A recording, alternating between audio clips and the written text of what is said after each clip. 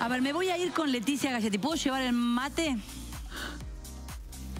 Artista, emprendedora, yo ya la vi, quiero contar algo. Cuando vi las tazas dije, qué divinas, y ahí me enteré, ahí está también nuestro amigo Gaby, ¿cómo te va? Hola, ¿qué tal?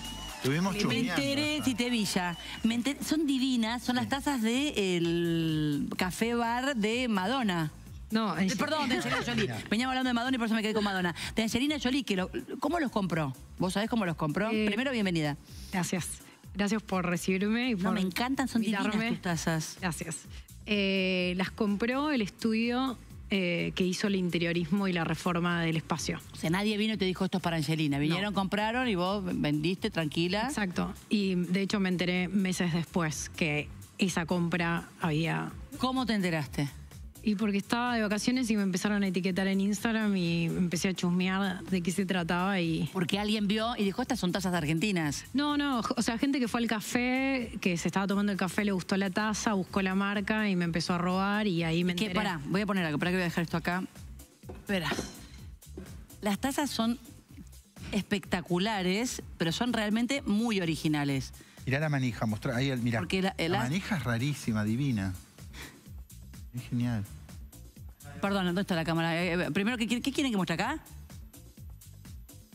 Ah, acá vieron Owo, vieron la, la marca. Exacto. Este, pero es, es contundente y tiene esta, esta comodidad. Uno está acostumbrado a que la taza la agarra de una manera, Sí. la agarra no la toma de una manera, y acá tienes la posibilidad de tener, y no te quemas, ¿ves? Te la agarras ahí directamente. Divina, y además se la ve una taza espaciosa. 400 mililitros. ¿Viste? Para ser exactos. Porque viste cuando te dicen una taza para cocinar, no, no es, la- es un poco más grande que las tazas habituales Sí. para que uno pueda. Yo te digo, acá me animo a tomar sopa y, Total, re. y, un- y, bueno, un té, por esto, supuesto. esto lo vendés por una página que se vende en el mundo entero, por eso Sí. llega la gente a comprarlo, porque no es que fuera, eh, No fueron la gente de presencialmente Angelina a la No, no, y lo compraron. Esto está en una página. Sí, está en varias páginas, eh, o sea, la mía de mi marca y además otras plataformas en las que vendemos las piezas. ¿Y cómo, eh, vos te- llegaste a enterarte cómo fue que las eligieron? ¿Qué, qué fue? Por supuesto, el, el- es súper original la taza, pero ¿hay algo en particular que fue lo que les gustó? ¿El, el tamaño? Ah, no sé. La, asa, no, no tenés idea. No, ¿Vos sabés que les gustó? desconozco.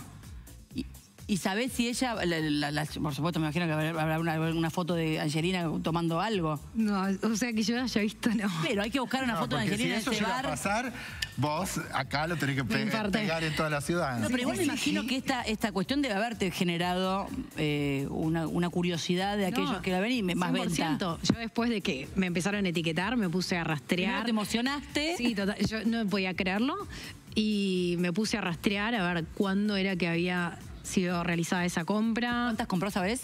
Como 20 y compré platos también.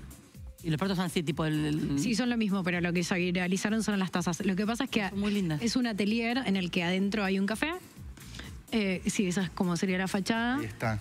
Eh, Necesitamos que esa mano tenga la taza. exacto. Bueno, la puedo photoshopear ahora. Claro, con la inteligencia artificial la tenemos rodeada, bañada en tazas, Además, lo, Angelina. lo- lo divertido tuyo es que vos estudiaste arquitectura Sí. y estudiaste arte.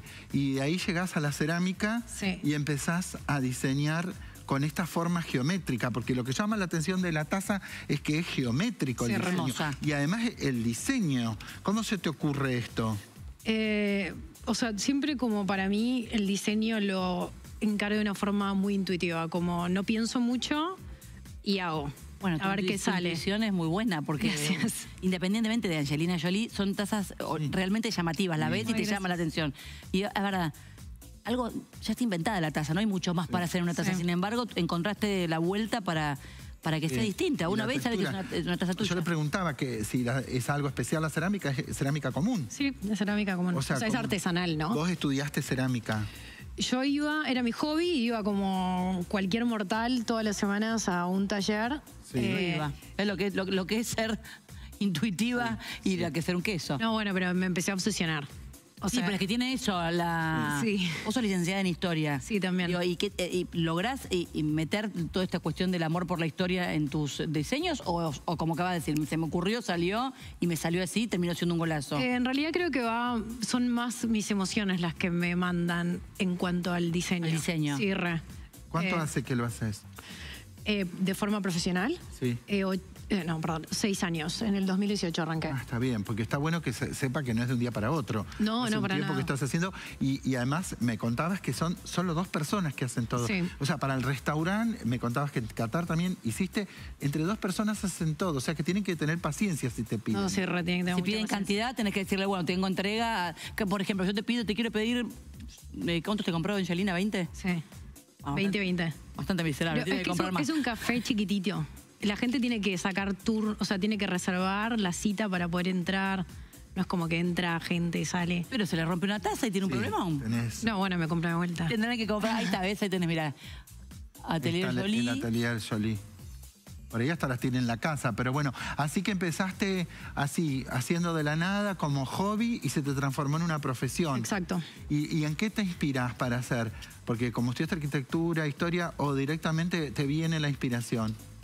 Eh, me encanta, pero, o sea, siempre me inspiró muchas cosas. La, me encanta el cine, me encanta la música, me encanta la naturaleza. Entonces hay causalidad, no casualidad en, to- en- en eso. Porque vos tenés un amor por el arte, tenés amor por el cine y de golpe viene Angelina ya a, comp- a comprar, digo, que es casual que ella elija, pero hay una causalidad en el medio que lo lleva. También aparecieron tus platos, si no me equivoco, en un episodio de Las Kardashian. Sí. Yo te digo algo, con lo que esas minas generan, contame, con- te- te- también te, te etiquetaron, te avisaron, porque Eh, o estabas mirando, no te veo no. mirando la historia de Las No, Kardashian. estaba, eh, también me enteré por redes sociales, pero porque yo no hice la venta esa. O sea, la hizo una tienda en Finlandia, que es donde vendemos también piezas. Eh, entonces, la tienda en Finlandia fue la que empezó a postear. Ahora, para, explícame está, cómo... Sí, pero explícame, sí, ahí está, mira. Los platos divinos. están. Claro, son divinos, los platos ¿Siempre de Las toda esta estética? ¿Siempre blanco con negro con manchones? No, o tenemos pinches también. pinches? No, Muchos pero pará, pinches. ahí está eh, En- Kim en- con Chloe, con tantas. Sea, están todas. Te digo que es un. ¿Cómo? Lo, lo que, a mí de estas cosas, me- lo que me vuelve loca es pensar que Finlandia, o sea, hay un montón de lugares en el mundo que Sí, terminan comprando cuestiones que, por supuesto, eligen el talento, les gustó y lo compraron. Online las tienen que haber visto Sí. por primera vez. Sí, sí, sí, sí. Eh, ¿Dónde la publicaste la primera vez? Porque digo, ¿cómo llega a Finlandia? Claro. ¿Y cómo Eh, llega después Kim Kardashian a comprar el- No entiendo. Bueno, me encanta, pero no entiendo. Las redes sociales nunca sabes quién te está mirando del otro lado. Esos son los pinches. Ah, Ah, están son muy lindos, me Eh, encanta. Gracias. Son onda Pedro Picapiedra. o No, sea, pero me encanta. Pero claro, lo que decía Ebri, Muy de decir, ¿cómo fue la primera vez que alguien se contacta con vos y te dice, mira, soy ¿dónde lo publicaste una la primera tienda vez? internacional? Bueno, eso fue el Qatar lo que te contaba.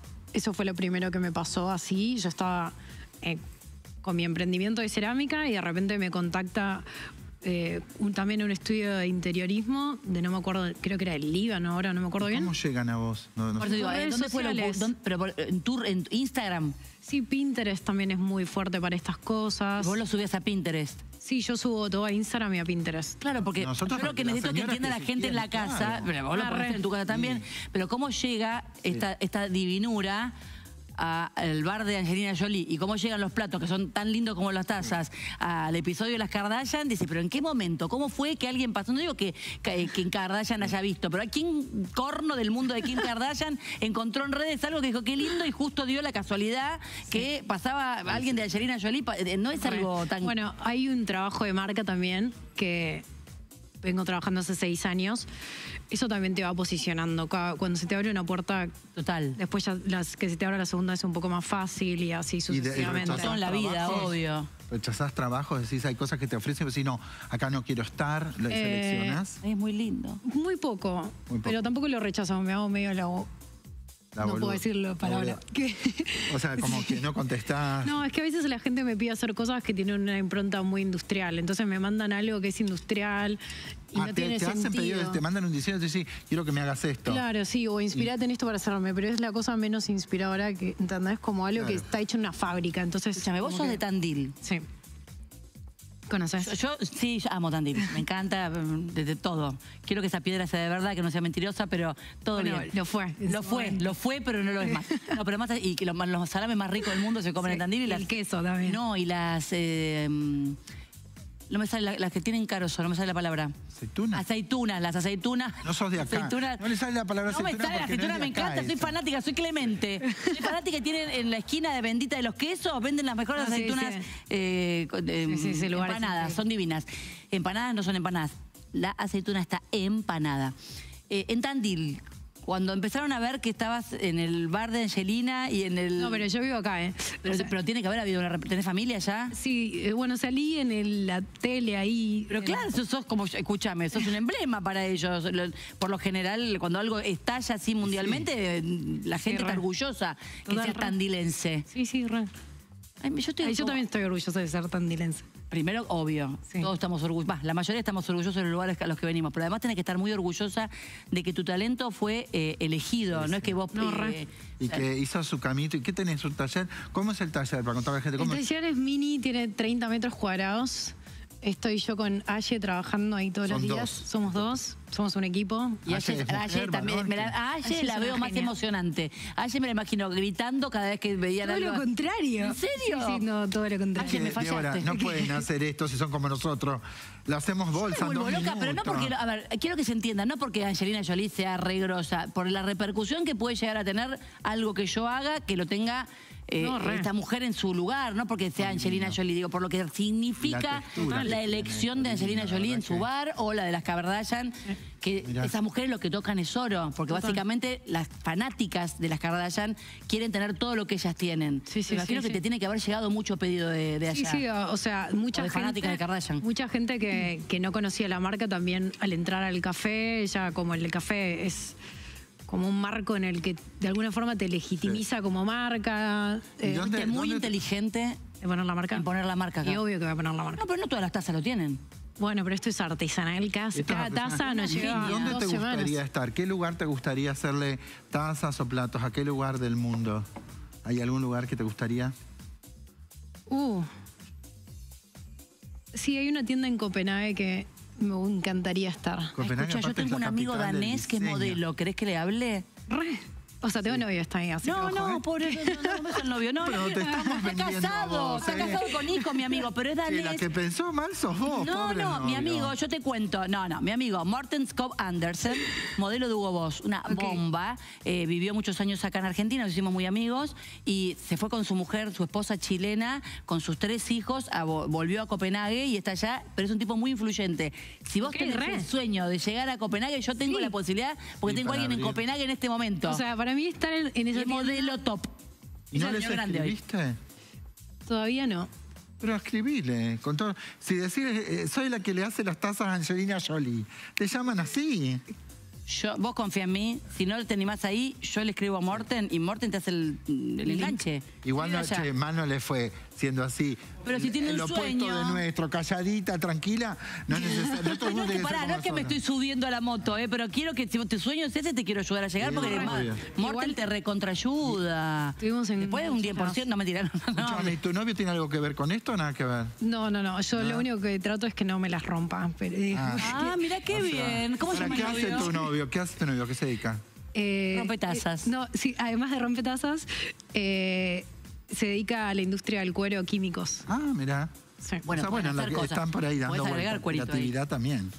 ¿Hay creatividad o nada, no? No, es más negocios. Más negocio, bueno, el que tiene que hacer la plata. Igual a vos no te va Pará, mal. yo con- también. Vos que no me también con tienes esto a- económicamente te va yo bien. le estoy metiendo todo mi amor y sí. esfuerzo. Y... Escúchame, Leticia, te quiero felicitar. Yo te doy mi palabra que después me pedí tu teléfono.